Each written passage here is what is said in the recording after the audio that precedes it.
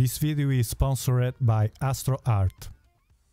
The Starizona Nexus improved a lot my Dobsonian telescope. With it, my Dobsonian telescope is now a faster telescope and benefit from a larger field of view while keeping all the stars pinpoint until the edges. It's a powerful tool but may not fit you. However, I will show you everything about it for you to make a good decision if you want to buy it. Also, if you are on a budget, don't worry, because later in the video I will show you two options to obtain acceptable results and also turning your Dobsonian telescope into a faster telescope.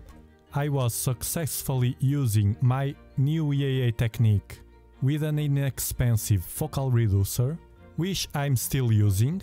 I will explain you why in a moment. However, that technique is only good for small objects in the sky. For the larger objects, I would need something like the Starizona Nexus, which is a focal reducer with a coma corrector. And through my EAA technique, it can also be used to capture small objects in the sky. It covers all needs, even visual observations with an eyepiece. It has height quality and it was designed specifically for Newtonians. I was searching for a store here in Europe, but it was out of stock. Then, by luck, I found this amazing store. It's called AstroArt and it's from Finland. The Nexus was in stock and in addition to that, the price was lower than in other stores. And the shipping with UPS was free for my country. Great, I made a deal with them, shipping was super fast and I've started testing the Nexus with my 12-inch Dobsonian.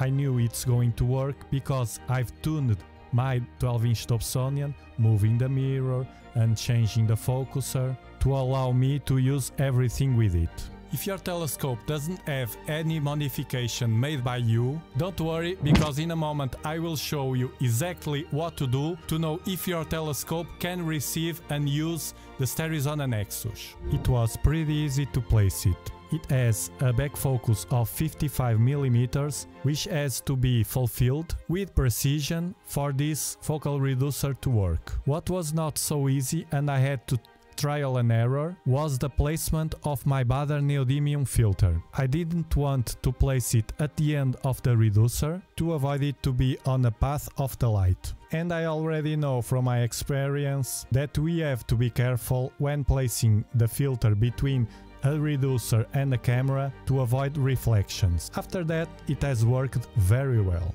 No surprise here. The problem was when I tested with my 8-inch Dobsonian. It didn't work. I had no back focus. However, there are solutions for that.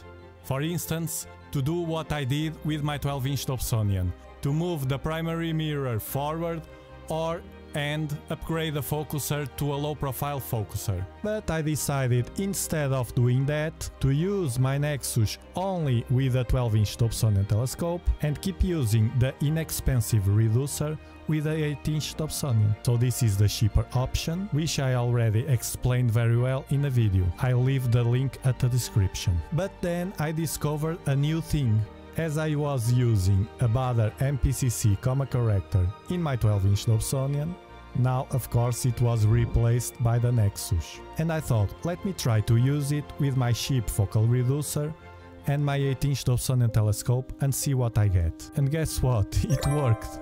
I still get a bit of coma at the edges, but is imperceptible. The best position for that was to attach directly the coma corrector in the focal reducer and then all into the camera. In this case, the filter was at the end. It's a infrared cut filter. So this solution is not so cheap as the previous one, with only a cheap focal reducer, but in case you want to buy a coma corrector or you have already one stored collecting dust, I'm sure it's good to know you can use it with a cheap focal reducer and have very nice results. I will be using this solution with my 8-inch Dobsonian and you can see it during my live streams, which I do regularly. And now I will show you how to know if the Starizona Nexus can be used with your telescope. First, turn your focuser all in until it's stopped. That will be your starting base. Now measure from the top of the focuser base until the top of the focuser draw tube. This is the first value. Now connect the camera and get it into focus. And after getting focus, use a caliper and take the measures from the flange of the camera until the baseline of the focuser. This is the second value. And to this one, subtract the first value. Then add to the result the inner distance from the sensor until the flange of the camera. Check that on the ZWO website. In my ZWO 294 for instance is 6.5 millimeters. In this simulation the total result stays below the 55 millimeters.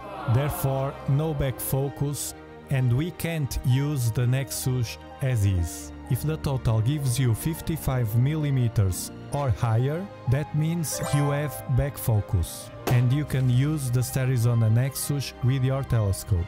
And as a bonus, I want you to know that this information I just provide to you can also be very useful if you want to upgrade your focuser to a low profile one. Because using the measures the manufacturer of the focuser provide, you can use my calculations to know if you can receive a Starizona Nexus. And if you don't want to invest in a premium tool like the Nexus right now, Remember, you can use a cheap focal reducer to boost your EAA sessions using my new EAA capturing technique with a focal reducer. Checking this video over here, which explains exactly the benefits of using this technique and how to do it.